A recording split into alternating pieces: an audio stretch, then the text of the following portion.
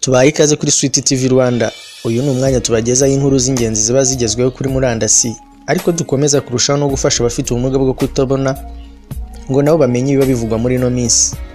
Tubagezaho amakuru afitiye benshi akamaro. Uyu munsi reka tuvuge ku cyorezo gihangayikishije isi cya Covid cumi n'icyenda. Turavuga ku bintu icumi bidasanzwe kuri yo, ndetse ku musozo turagaruka ku ngamba zo kwirinda iki cyorezo. Ngendimana Jean Paul. Aka kanya ushobora kuba ufite ubwoba bwinshi utewe na coronavirus ihangayikishije benshi muri iyi minsi, ariko numara kumva iyi nkuru ubwoba wari ufite buragabanyuka ukomeza ingamba zo kwirinda ufite umutima utuje.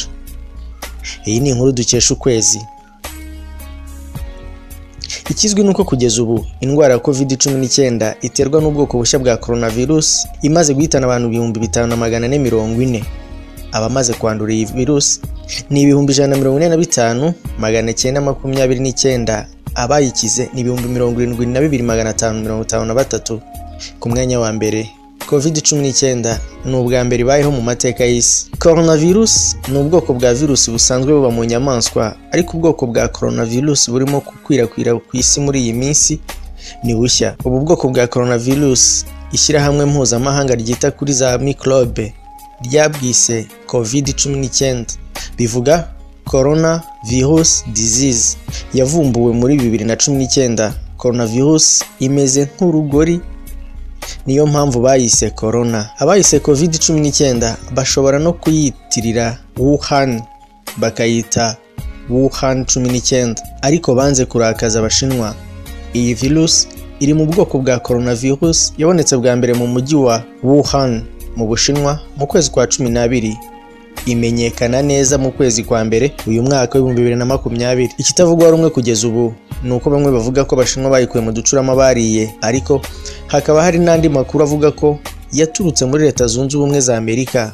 Nk'uko byatangajwe n'umuvugizi wa minisiteri y'ububanyi n'amahanga y'ubushinwa Zhao Jian ku mwanya wa kabiri covid cumi n'icyenda ipimirwa mu zuru. Iyi virusi ipimwa hifashishije ibipimo biboneka bafashe tije koto bagakoza mu zuru hanyuma ibipimo bikajyanwa muri laboratoire. Nyuma y'amasaha ane ni bwo ibisubizo biboneka. Abaganga bagatangaza niba wapimwe arwaye covid cumi n'icyenda cyangwa atayirwaye.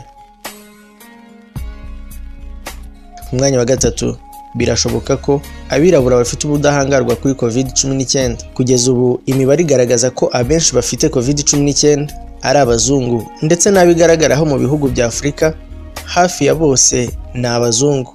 Abahanga mu by'ubuzima bavuga ko iyi virusi covid cumi n'icyenda ishobora kuba idashobora ahantu hashyushye nko muri afurika ikindi gitekerezwa ni uko bitewe n'uko afurika hakunze kuba malariya imibiri y'abanyafurika ishobora kuba yariremyemo ubudahangarwa karemano. Burwanya malariya bukaba ari bwo butuma iyi virusi ya covid cumi n'icyenda itabafata. Mu miti abashakashatsi barimo kugerageza ngo barebe ko yakiza covid cumi n'icyenda harimo umuti wa nivakine usanzwe uvura malariya.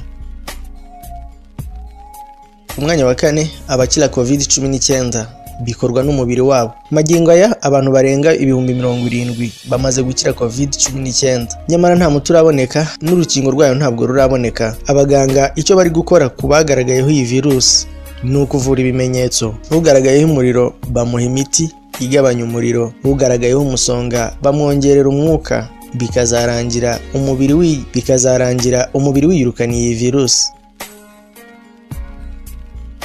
ku mwanya wa gatanu abanduye covid cumi n'icyenda mirongo icyenda n'umunani ku ijana barakira. Dr. Nduwayo yavuze ko abantu iyi virusi yibasira ari abantu bafite umubiri ufite intege nkeya. Abantu bakuze bafite hejuru y'imyaka mirongo irindwi abarwaye umutima abarwaye diyabete abarwaye impyiko. Yagize ati naho ubundi umuntu w'umusore urya neza umubiri we urayirwanya ukayitsinda.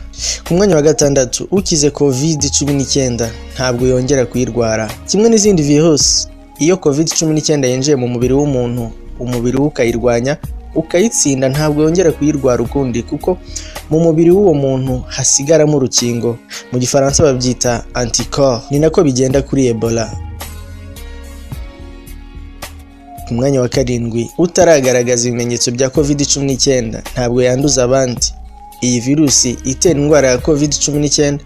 Imara iminsi cumi n'ine mu mubiri w'umuntu ataragaragaza ibimenyetso byayo birimo kwitsamura kugira umuriro no gukorora. Dr. Nduwayo yavuze ko igihe umuntu ataragaragaza ibimenyetso aba ataratangira kwanduza abandi.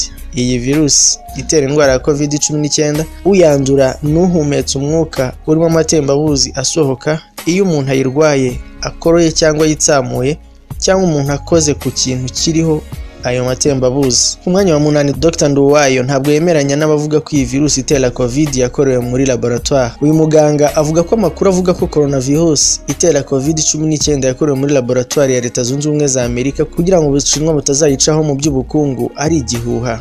Ngo iyi virusi isanzwe iba mu nyamaswa yavuye mu nyamaswa ijya mu bantu kuko abantu bariye iyo nyamaswa. Ku mwanya wa cyenda covid cumi n'icyenda imaze amasaha ageze kuri ane kimwe n'izindi virusi iyi virusi itera covid cumi n'icyenda ntabwo ishobora kumara amasaha mu kirere amasaha n'itarapfa. Ku mwanya wa cumi covid cumi n'icyenda nta bushobozi ifite bwo kwinjira mu gapfukamunwa.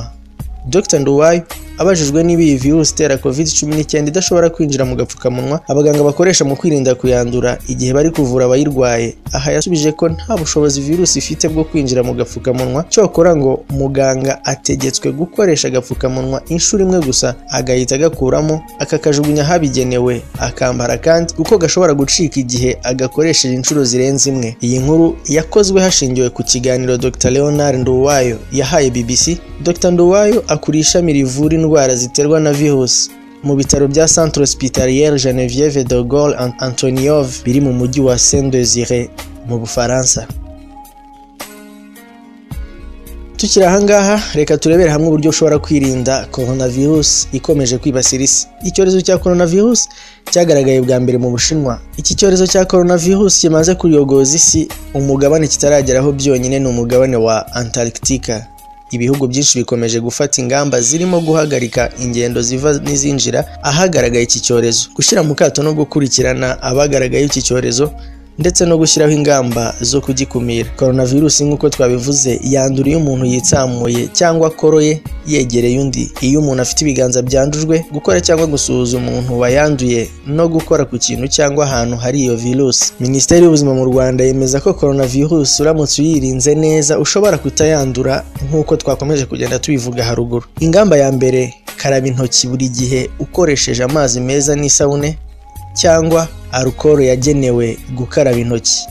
Igihe ukoroye cyangwa witsamuye pfuka ku munwa no ku mazuru ukoresheje agatambaro gasukuye uhita ukajugunya ahagenewe guta imyanda. Hanyuma uhita ukaraba intoki n'amazi meza n'isabune. Irinde gukora ku muntu uwo ari we wese ufite inkorora n'umuriro cyangwa kwegera abantu. Iyo warwaye kimwe muri ibyo ihutire ku ivuriro rikwegereye igihe cyose ufite umuriro inkorora cyangwa udahumeka neza. Irinde gukora urugendo niba ufite umuriro n'inkorora. Ikigo cy'igihugu gishinzwe iterambere RGB giherutse giherutse gutegeka abatanga iyi serivisi zo gucumbikira abantu.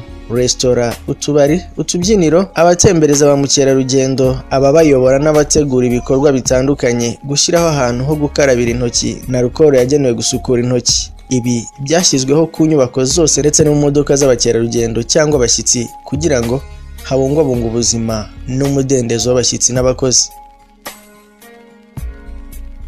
Minisiteri y'ubuzima kandi yashyize ku kibuga mpuzamahanga cy'indege cya kigali abaganga bahoraho bapima abinjira mu gihugu bakagira n'ibibazo babazwa ibimenyetso by'indwara ya coronavirus. Birimo kugira umuriro gukorora no guhumeka nabi ndetse ishobora no kugera aho itera umusonga no kubuza impyiko gukora bishobora gutera urupfu. Oms yaburiye ibihugu ko byakwitegura kurwanya coronavirus kuko irimo gukomanga imiryango ahantu hose. Komisiyo y'igihugu ishinzwe ubuzima mu bushinwa yatangaje ko abandi bantu magana atatu makumyabiri na barindwi banduye coronavirus ndetse abandi mirongo ine na bane bakaba barahitanwe na yo muri iki gihugu abantu ibihumbi mirongo irindwi n'umunani na magana inani makumyabiri na bane banduye coronavirus barimo ibihumbi bibiri magana arindwi mirongo inani n'umunani imaze kwica. Reka mbashimire mwe mwese dukomeje kubana mu biganiro bigiye bitandukanye kandi nshimira abakomeza kuduha ibitekerezo bigiye bitandukanye. Muri agaciro kuri twe. Niba nawe utarakora subscribe kanda kuri subscribe no kukazogera ndetse unakudukorera share ku bandi. Wanatwandikira kandi kuri zeru karindwi umunani umunani mirongo itatu na gatandatu mirongo icyenda na gatatu makumyabiri. Reka mbashimire cyane ndimana nkunda jean paul. Bye bye mugire amahoro.